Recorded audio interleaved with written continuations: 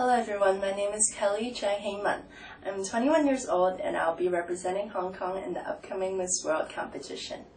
I was born in Hong Kong but moved to Chicago with my family when I was 10.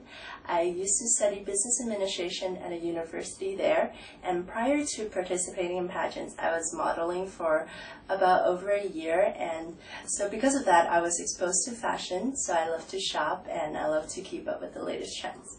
And during my free time I like to read and I like to travel and I also have an immense interest in gastronomy and wine studies.